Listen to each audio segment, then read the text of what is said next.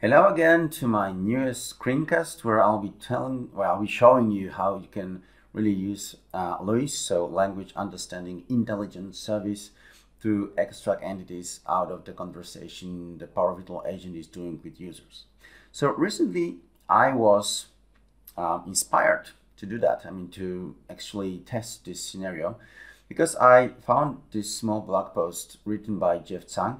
Jeff, I hope I spelled your last name properly. Um, and he wrote about smart entity extraction using Virtual Agents and the entities uh, functionality. So the entities functionality is basically the way that Virtual Agent is able to get the keywords out of the sentence written by the user. So assuming, for example, you have this colors entity. Now in colors entity, uh, you have the input that the user can type in or any of the inputs. Like user just can write an answer to the bot's question in the international natural language, like with a full sentence, but then bot is going to extract the keyword and then match it to the entity. The same uh, when speaking about the age, for example, I can type my age using words, using numbers, but I'm not actually required to write exactly the number. So if bot asks me, hey, what is your age? I'm not required to type 20 or 40. I can write the answer like, hey, I'm 40 years old. And then bot is, I mean, has to have tools to actually uh, recognize what my age is, not to ask me the same question over and over again, as long as I'm not answering just using numbers. Because in that way, in that approach, that would be highly frustrating for the users. So I have created like three examples of topics uh, that I'll just be switching off and on. So all of them are about my help desk scenario so that I have this help desk bot written for the customer that is being used internally. Right. So in this first scenario, bot is first asking user, hey, can you describe your issue? And then the second question is, what kind of an issue is that? So in this scenario, once I say uh, help desk, sorry, please help. Oh, first thing is that I will have to authenticate. Right. I mean, now check out this new approach for copying this uh, confirmation code. It is quite I mean, it, it's changed a little bit, so I can just hit the button copy. It's more comfortable.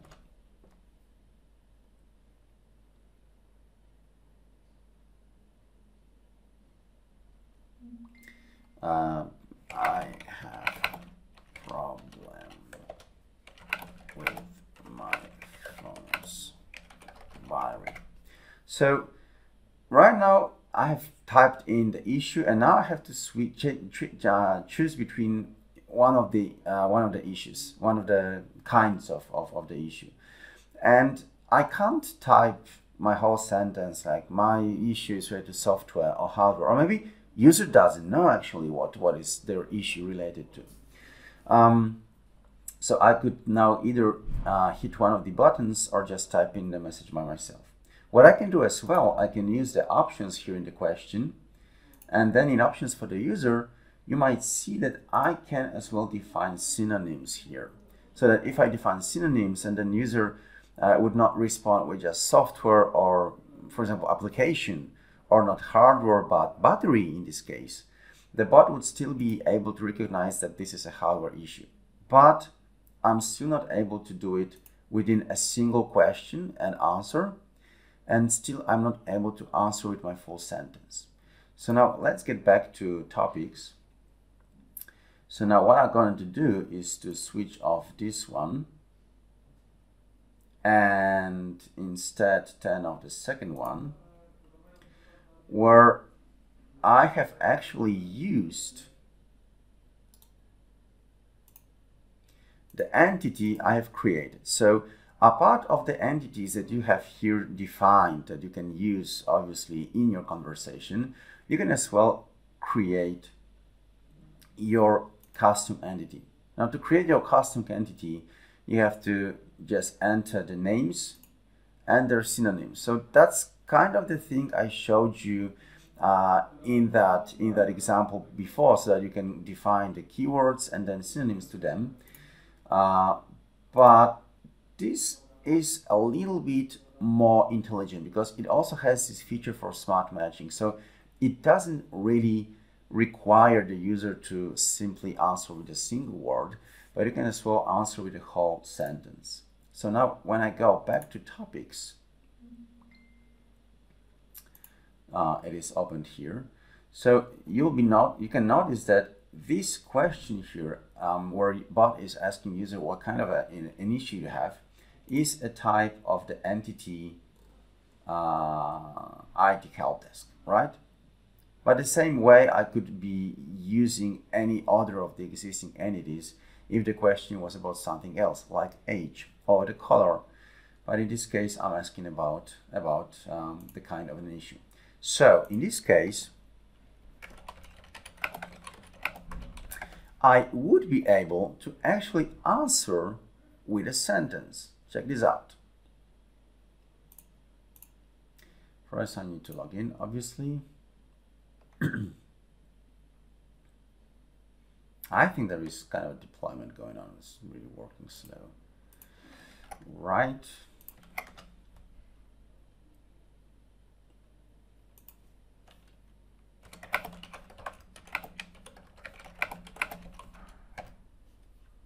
So because battery is uh, is a synonym of the hardware uh, in the entity I, I created, Therefore, if I answer again, my laptop's battery is dead, you'll notice that the flow will jump into the hardware branch.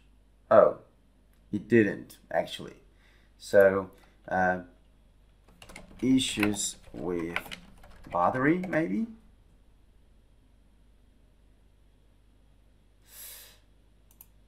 Uh,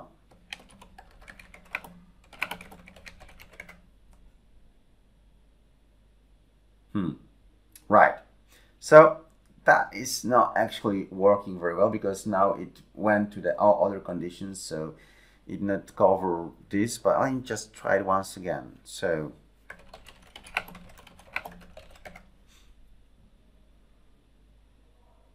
just let's let's try to start over again.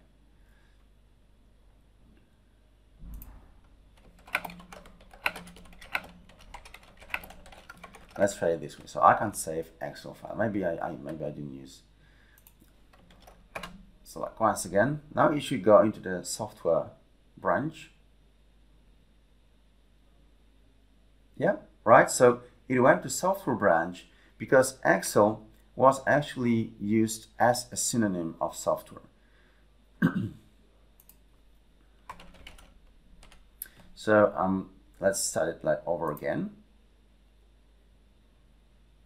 And I'll just show you one thing. So the key point here is that I actually don't want to first answer the question about what my issue is and then as well be the one who decides whether it's software or hardware or maybe something else, right? So me as a, as a participant of this conversation, when the bot is asking me what is your issue, I'm expecting that right after I type in what the issue is, the bot is really taking it over. So it says, okay, so your, so your issue is software kind, um, the application is this and that, and then maybe I'll just contact you with a human agent because I don't know how to do it, how to solve it.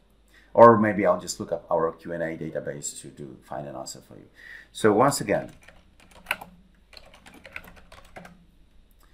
let's check this, this uh, another approach. So I need to log in because I've rested the session.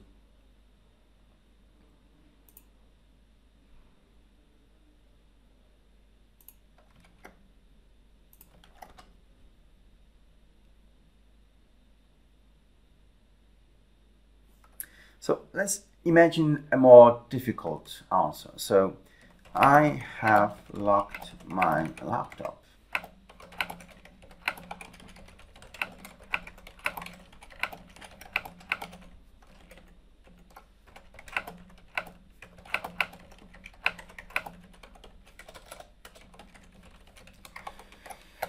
So that's a very, very long description from the user. And then I want that the bot is already aware of what my issue is. So let's try again.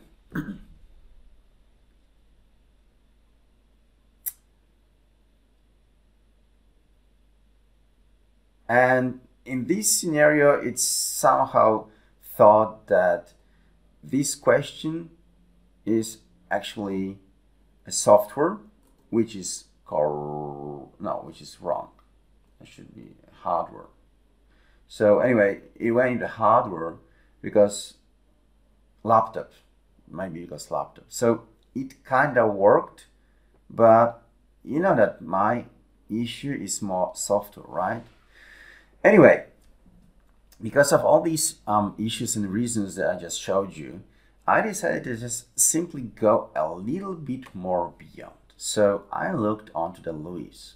So when you go to the LUIS.ai, you'll have to log in. First thing to remember is that you have to have either the administrative account to create your LUIS service or you have to have uh, administrator's consent to do so. Anyway, once you log in, you'll be then asked to create a new resource in, in Azure uh, that is called language.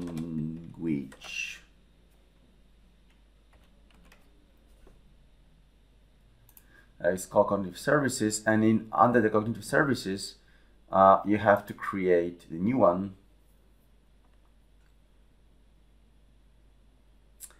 that will be called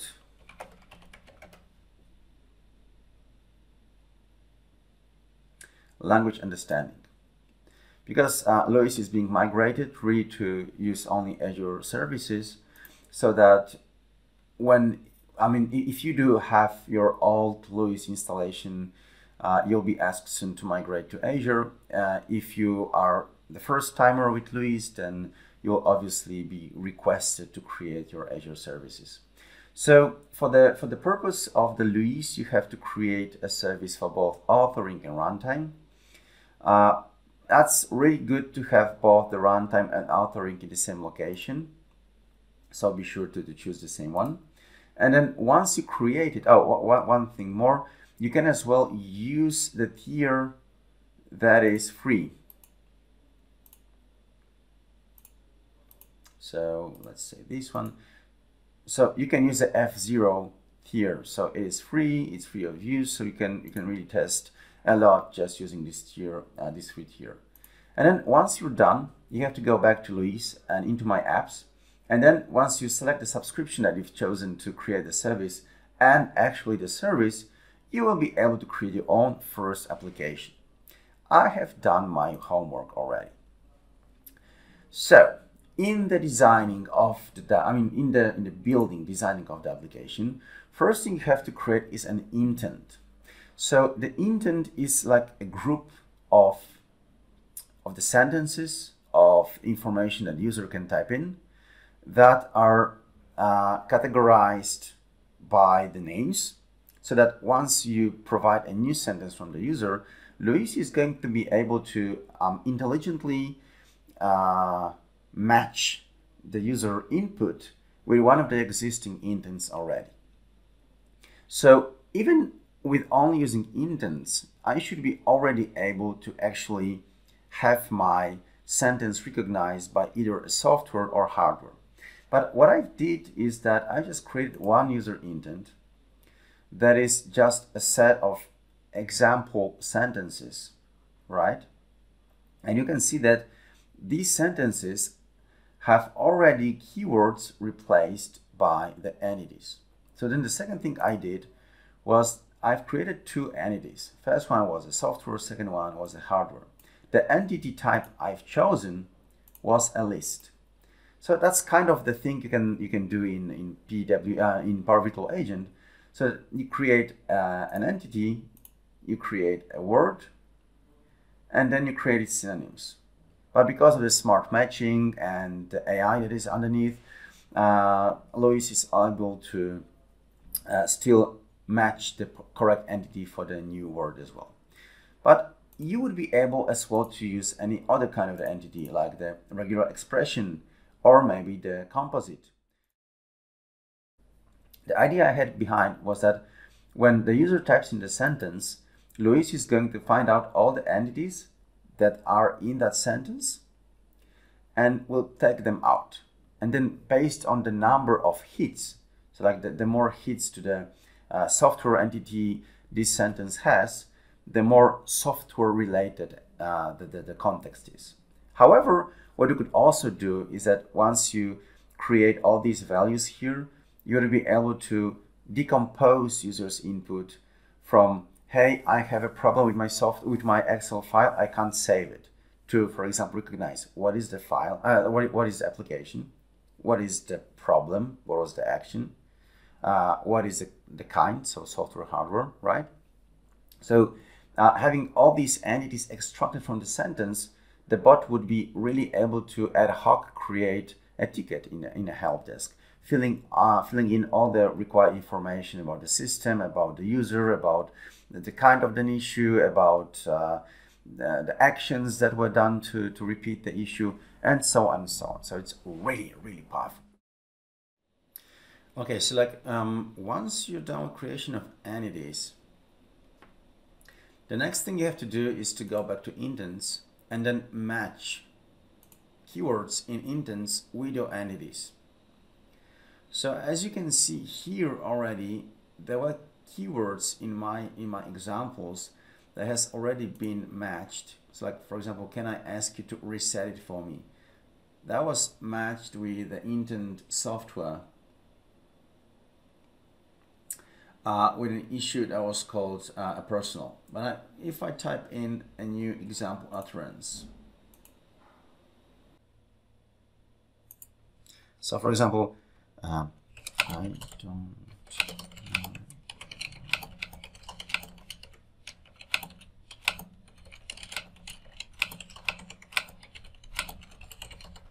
Right, so that's my new utterance. Now, once I hit enter, it will be added to the list and already the keywords that are matching the existing intents, uh, entities are replaced.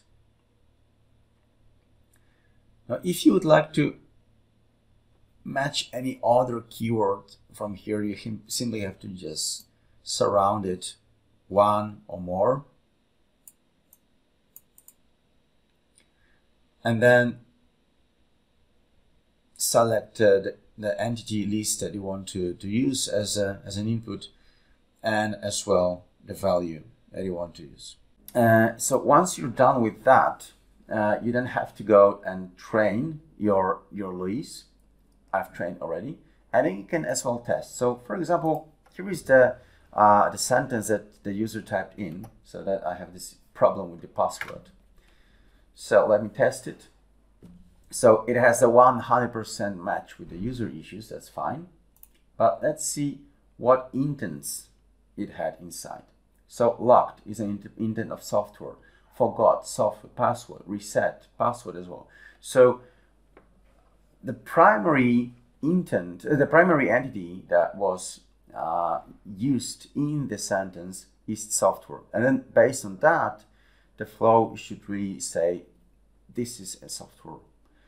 So the second thing that you have to do, uh, let me just jump to the, to the third, sorry, to the third topic. So now I'll just turn off this one and turn on the last one.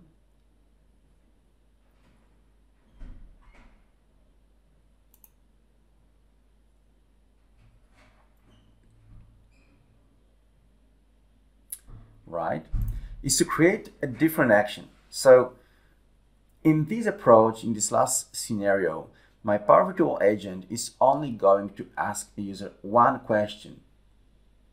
What is your issue? And then once the user types in the description, uh, Power Virtual Agent will send it to Power Automate, and then Power Automate is going to return whether it's software or hardware. How it was done? Very easily. So as well as again, as, as in all the previous examples, you have to create your new uh, Power Automate flow. But this time, there is a new action on the market, let's say. So you have to use it. So to make it really, really consistent with the Microsoft approach. So now when you want to create a new Power Automate, you have to use a trigger that is called when a new message from Power Automate is received or something like that. So um, let me let me check it for you. Uh, just a test. Uh, virtual. Ah, uh, right, virtual. No. Power. No. Okay, let's skip it. So there is a new trigger that is called when Power Virtual Agents call a flow.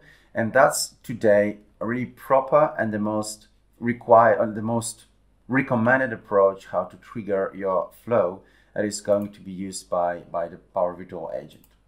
So in my scenario, I have created this Power, Power Automate already that is simply being called by the virtual agent and the Power Virtual agent is passing one value, that is the user issue.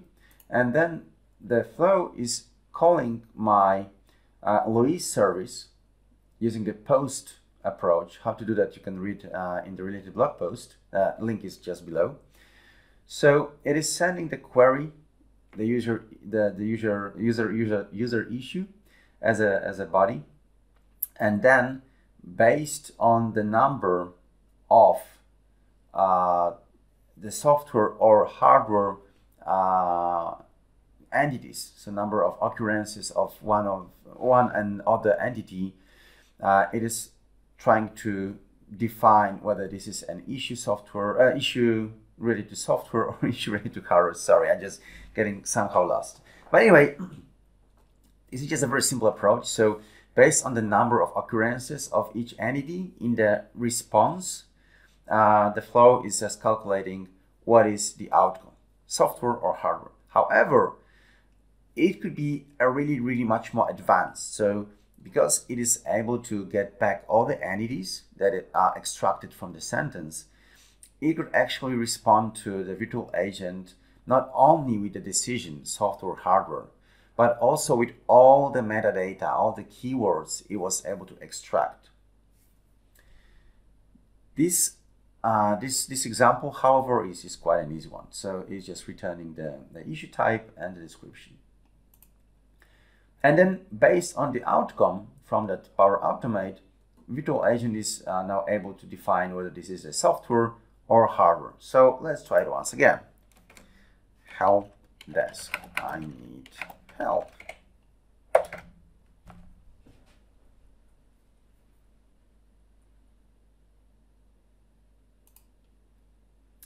Right?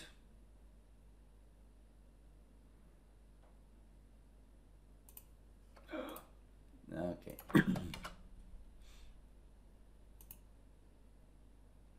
I'll just copy this, this sentence so that you'll see that it's really working fine. All right, so now bot asked me, hey, can you describe your issue and then be as much descriptive as possible. So I'll just type in this whole sentence. Now you'll see that the virtual agent will just jump to the flow. It will trigger my Power Automate, passing on the description. And immediately it got information. Okay, so you've locked your computer, you have not remembered the password, blah, blah. So that's possibly the software issue. And then it looked the Q&A database. Uh, it found an answer that is absolutely not answering the issue I had, but maybe the Q&A database is just not smart enough. Anyway, uh, it went properly in the in the flow, in the conversational flow. So this um, the, the, usage, the involvement of, of LUIS actually helped me to solve one of the issues I had. So it helped me to make this conversation with user more seamless, more efficient and more comfortable and less frustrating for the user because user is just once to ask the question and then virtual agent is really intelligent together with LUIS enough to recognize and tell whether the issue is software or hardware related. So that is really fine for me as a starting point is really good. Now I can really move it forward and develop to, to get more keywords to integrate with uh, help desk ticket ticketing system and so on and so on. Scenarios are just unlimited. I hope you liked it and I hope that it will as well help you in your journey with Power Virtual Agents and LUIS as well and Power Automate obviously because LUIS is uh, is a service that you can really integrate with any any Power Platform tool. So um, yeah, feel free to ask me questions if you do have any. Um, follow me on my Twitter, follow me on my blog, and until the next time, thank you very much. Bye.